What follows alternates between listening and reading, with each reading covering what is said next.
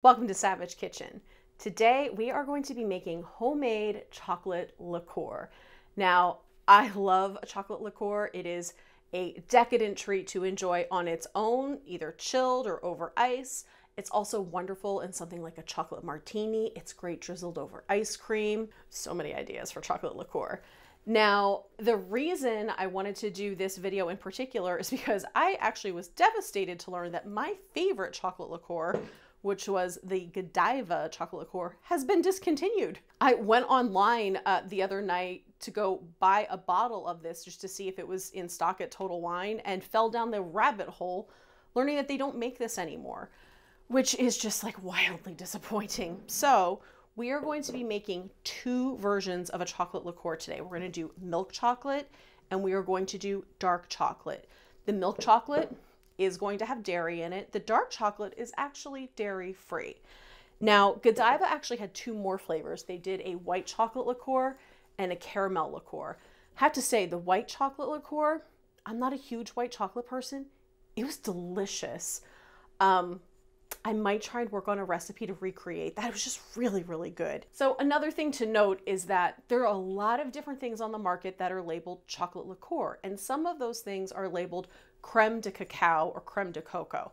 I'm honestly not sure which pronunciation is correct, so you'll probably hear me mix them up. So there's no regulation on the term creme de coco or creme de cacao. The difference most often is that a creme de cacao is not a cream liqueur.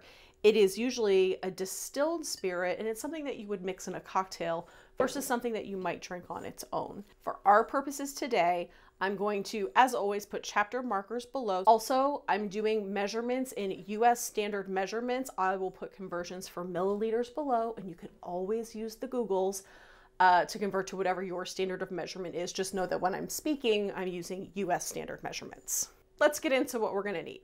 So even though we are doing two versions of a liqueur today, most of our ingredients are the same. The only thing we're doing is changing the ratios a little bit for our milk chocolate liqueur, and there's going to be the introduction of some dairy.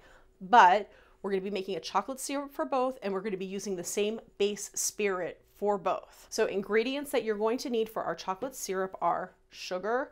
I like to use this uh, raw organic cane sugar. It's just a little bit less processed. It's uh, similar to like a turbinado sugar. If you don't have this, I would just use plain white granulated sugar. Next up is ground cocoa powder. Now, you will absolutely taste the cocoa powder in this liqueur. So use a cocoa powder that you like. I personally love Ghirardelli. This um, has a very different taste than, for example, Hershey's has. It's to me more chocolatey, which I know shouldn't really use a word to describe the thing you're trying to describe. If you enjoy Hershey's, use Hershey's. Use whatever you have, but know that the quality of your liqueur is definitely going to be affected by the quality of all of your ingredients. So use things that you like and that you enjoy. Also, pro tip, uh, try using black cocoa. I personally love using black cocoa. It is a Dutch processed cocoa, which means it is alkalized and less acidic and it's dark. Hold on, let's show, shall we? So black cocoa really is, it's like hearts of darkness up in here. When you look at the difference between these two cocos, it's pretty stark, the black cocoa versus the ground cocoa. Flavor difference is there too. This is a little bit more, I would say intensely chocolate. It's slightly more bitter. It's reminiscent of an Oreo. So the dark, dark cookie of an Oreo, that's black cocoa. So if you really like that intensely chocolatey flavor that's a little bit bitter, maybe try using black cocoa instead of our regular cocoa. Or do a blend of the two, which is my preference. Like when I'm baking and making a cake, I use a blend of both. All right, additional ingredients for our syrup. We're gonna want a little bit of vanilla extract. Then we're gonna add a little bit of espresso powder and then finally just a pinch of salt. Oh, and water, hot water, because we're going to be making a syrup.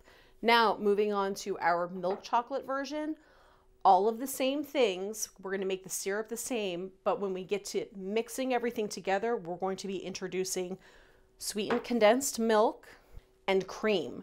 Now, in this, I'm using half and half, which uh, is, I've learned, a uniquely American term.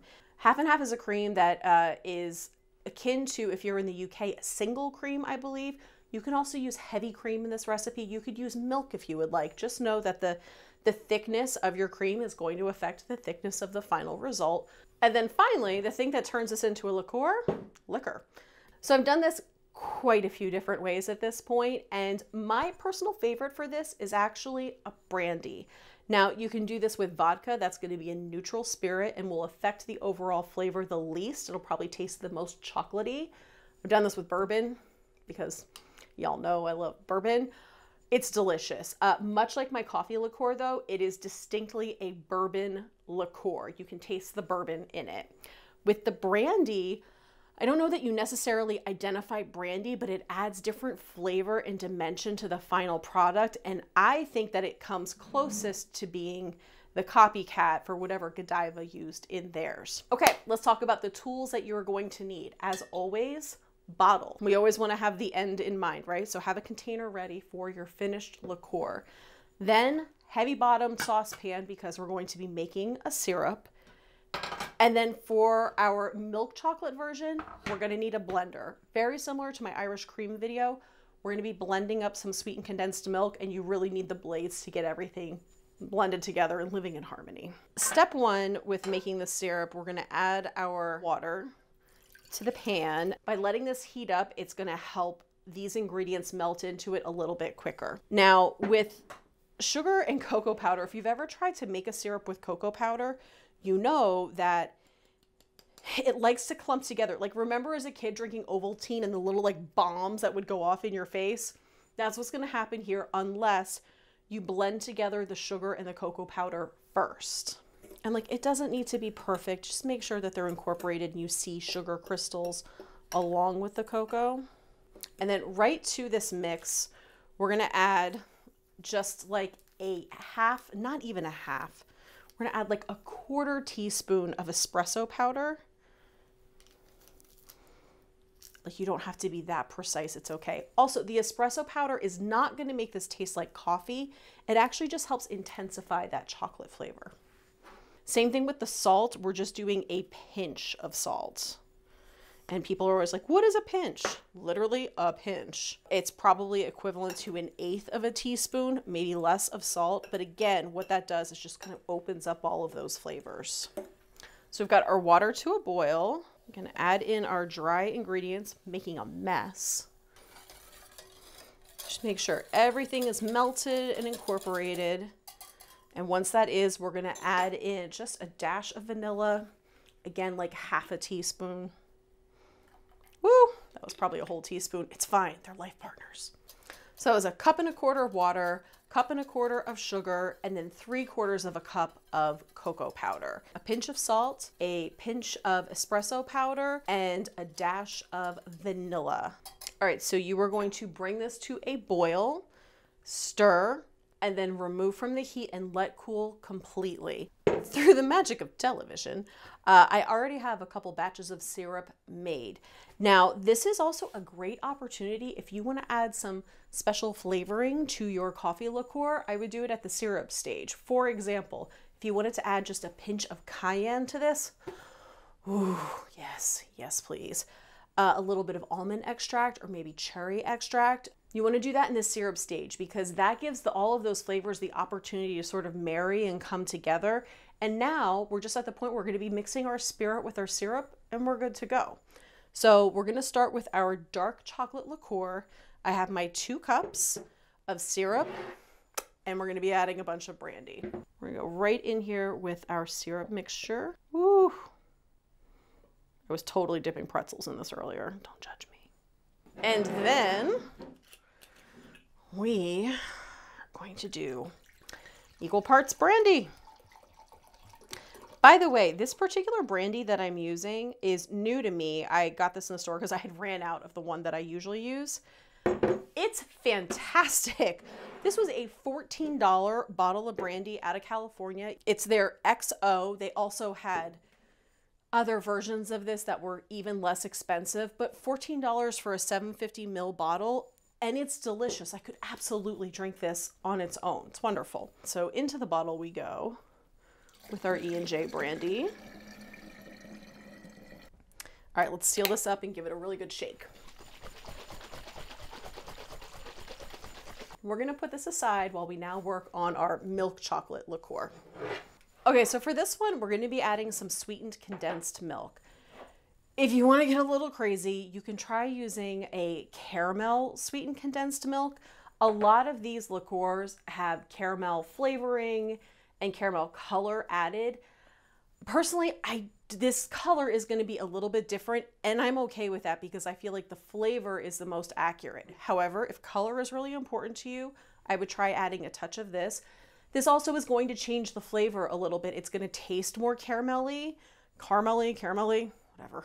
Um, which is delicious, just depends on what you prefer. If you've been with me for a while, I'm a big fan of like do whatever you want. If you like the way that it tastes, perfect. Enjoy. Good for you. So we're going to do the entire 14 ounces of sweetened condensed milk. Next up is our brandy. We're just going to be doing a cup of brandy. So this version of our liqueur is a little less alcohol heavy. Oh, all right, we might be just a, shy, a little bit shy. The problem is I was sipping it and enjoying it first. Don't tell anybody. All right, blender up.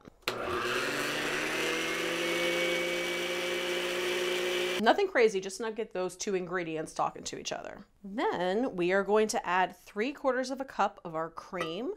And again, whatever type of cream you prefer. Heavy cream is gonna make this thicker, milk thinner. Totally up to you. And then we are going to be doing about half a cup of syrup, half a cup to three quarters of a cup. So we're just blending this for like 10 to 15 seconds. We don't want to turn this into whipped cream. We also don't want to get all the way to butter. That would be a problem. So just enough to make sure that everything is emulsified. And into the bottle. Hello, Valentine's Day. Had I not run out of brandy, this would be at the same exact level as this. Mm. So now we have two chocolate liqueurs. There are a lot of different ways to arrive at these chocolate liqueurs, and a lot of them require time and patience, two things that I never have enough of. So these are ready to drink right now. They will also improve over time. Like if you store this in a cool, dark place for a day or two, it's gonna get even better. But it's already delicious as is. The cream liqueur, same thing, but since this has dairy in it, store this in the refrigerator. Shelf life on either of these is quite long. This is going to go faster. Again, it has dairy in it, but if you put this in the fridge, this is going to be good for like six to eight weeks. Just like smell it. If it smells funky, don't drink it. Like use your head. But in general, this is going to last a really long time. This one has all shelf stable ingredients in it. This is going to last even longer. The problem that you're going to run into is that it's delicious and you're going to drink it before it will ever have the opportunity to go bad. Now, I'm pretty excited about the dark chocolate liqueur. I personally, I love dark chocolate, and I have so many different ways that I want to use this. Ooh, okay, that might have been that might have been a heavy pour, but we're not mad at it. Even though this does not have any cream in it, this is going to be thicker, but I promise you it's going to taste so good. Woo! Let's try our Godiva first. smells so good. Mm, actually, smelling this, I almost think using a Kirsch might be good instead of the brandy, which Kirsch is a brandy, but oh my god. Oh, Godiva. Why? Why did you leave us? It is intensely chocolate. It's a little bit bitter. Very, very smooth. I also think that some of our other techniques to get to a chocolate liqueur as in an infusion using a very high proof spirit over cacao nibs will get us closer to the texture and mouthfeel of that. But let's try our homemade version. Oh.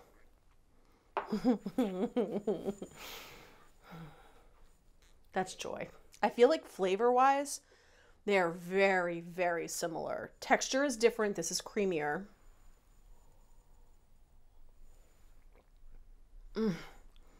But the flavor is so good. Oh my God. Mm. I can't believe I have to record another video after this. Wow. Okay, before I get too excited about this, let's taste our milk chocolate versions.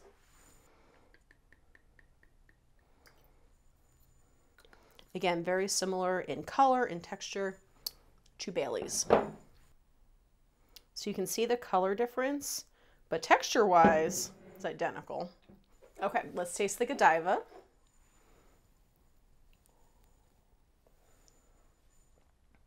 Mmm. Mmm. Good.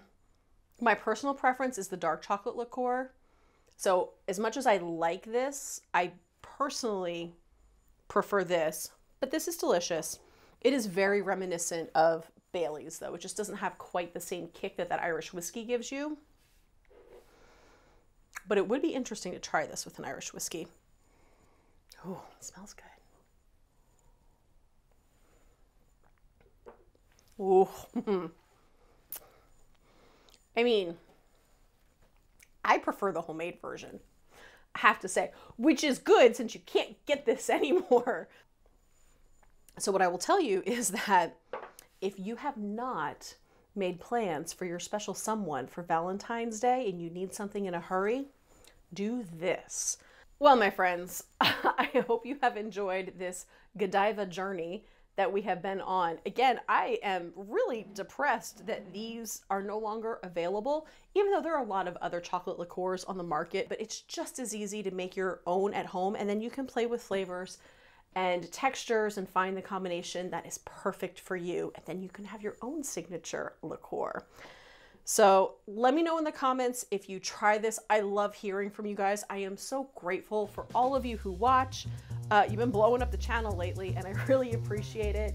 Uh, if you want syrups or merch, head to the website, savidgekitchen.com. There'll be all kind of links below. Feel free to follow along on Instagram, and I'll see you guys soon. Cheers, friends.